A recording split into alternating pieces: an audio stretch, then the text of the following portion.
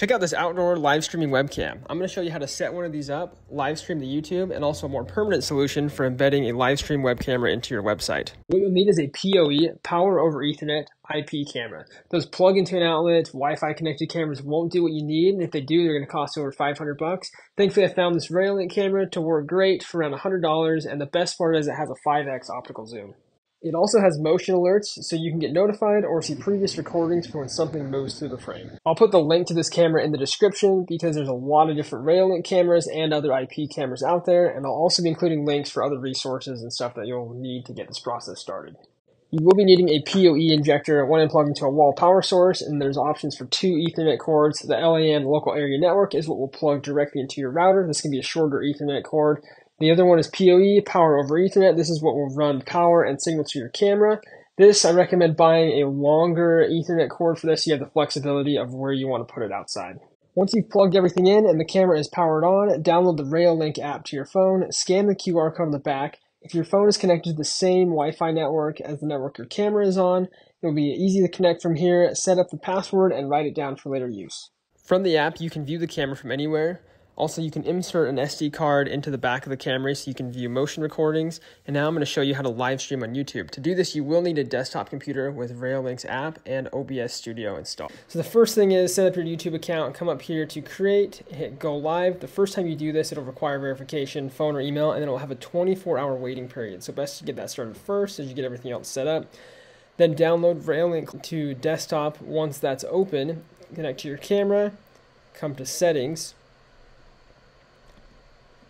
network, advanced, server settings setup. Click this checkbox right here. By default, it's not checked, RTSP, and take note of the number of port right there. Make sure you hit save.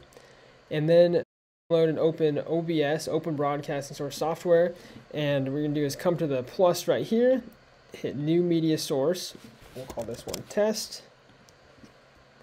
And then make sure that all these checkboxes are unchecked.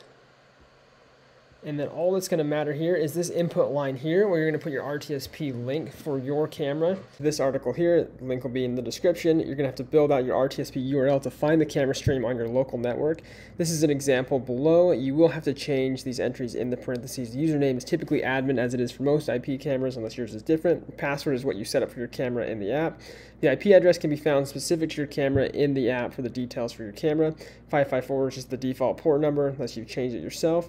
This will remain the same, and then you have the option of two different stream types as found below. You have the main stream. Many of these cameras, including this one, shoot in 4K, but a lot of computers and networks can't handle that bandwidth, resulting in jumping, freezing, issues like that. You can use the substream, slightly lower quality, but works better for live streaming. So copy that over exactly, and then change the numbers, the fields within that to be specific to your camera. Over to OBS and paste that into the input right here.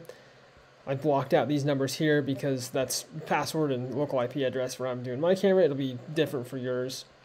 And then I'll do the lower quality one here to get it going quicker. Hit if your video feed is not appearing here, go to desktop settings, firewall, allow OBS as an allowed application through the firewall. If it's still not working, go to Reolink's desktop app, network settings, enable RTSP by checking the box, and then it should appear here.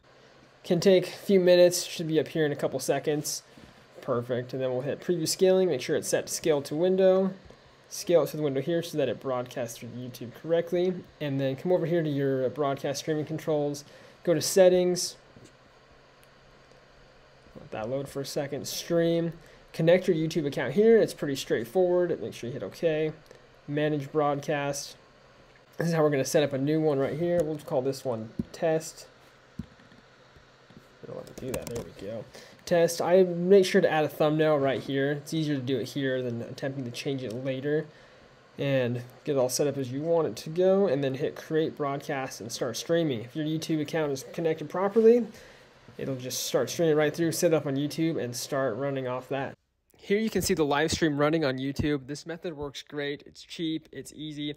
You can embed it to a website, share it as needed. However, there are a few issues with this, and I wouldn't consider it a permanent solution. You can see the frames here are jumping. That's just an issue with the computer, the network, not being able to handle the bandwidth. And I would like to free that computer up for other work.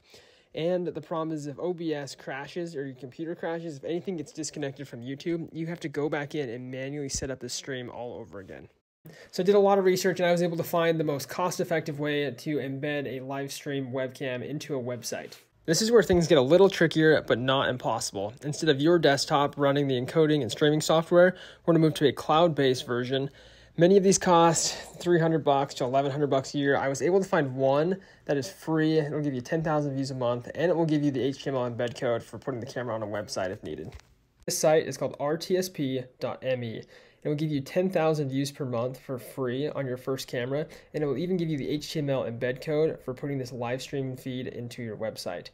To do this, you will need a public IP address. You'll paste your RTSP address in here, making sure you have the public IP address updated, update the port number if needed, put in your email, select the nearest data center, and go from there.